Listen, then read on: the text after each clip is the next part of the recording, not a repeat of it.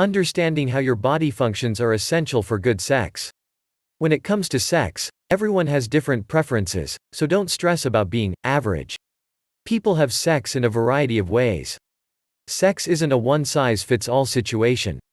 What you enjoy may not be appropriate for someone else. When it comes to sexual habits and desires, everyone is different, but here are some typical types of sexual activity. Whether you're masturbating alone or with a companion, sex, oral, vaginal, and anal. Kissing. Brush your bodies against each other. Making use of sex toys. Phone sex, often known as sexting, is a type of sexual activity that takes place over the phone. Watching or reading porn. Different things turn people on, so expressing what you enjoy and don't like allows your partner to know what's acceptable and what's not. Is sex beneficial to your health? Healthy sex life is beneficial to your mental and physical well being. Sex may help you form a bond with another person, and sexual pleasure has several health advantages, whether or not you're with a partner. Your body produces a natural high when you have an orgasm. Endorphins, which are chemicals that inhibit pain and make you feel good, are released. There is a slew of other health advantages to sexual pleasure improved overall health, more restful sleep, improved self esteem, improved fitness, reduced strain and stress, a longer existence. How frequently do people engage in sexual activity? There is no such thing as regular sex since everyone is different. The frequency with which you have sex is determined by a number of factors, including whether you have a partner, what else is going on in your life, and the strength of your sex drive, desire to have sex. Sex drives vary from person to person. Stress, drugs you're taking, and other physical, mental, and lifestyle variables can all affect your sex desire. Some people want to have sex every day or many times a day, while others don't want to have sex at all. Asexual people are those who have no sexual attraction to anyone. How can I have a sexual life that is both healthy and enjoyable?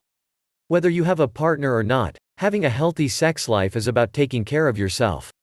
Physically, this includes using safer sex, being tested for STDs on a regular basis, avoiding unwanted pregnancies, and consulting a doctor or nurse if you have sexual dysfunction or other health issues. Healthy sexuality also includes feeling good about yourself, experiencing sexual pleasure, being comfortable with your sexual orientation and gender identity, and having healthy relationships. Knowing what you do and don't want to do sexually and being able to express it to your partners is key to having a good sex life. Your spouse must respect your limits, and you must respect your partner's boundaries. How do I bring up the topic of sex with my partner?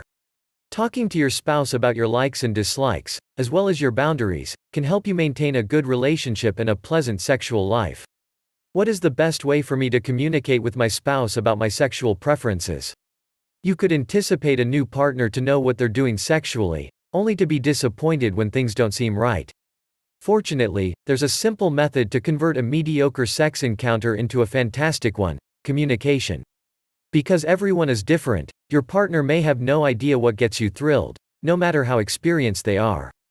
You must communicate with your spouse what you enjoy and what makes you feel good.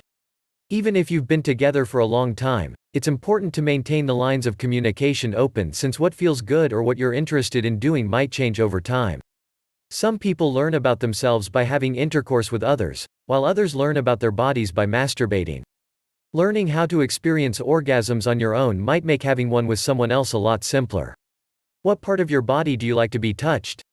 How much pressure is comfortable? How fast or slow should you go?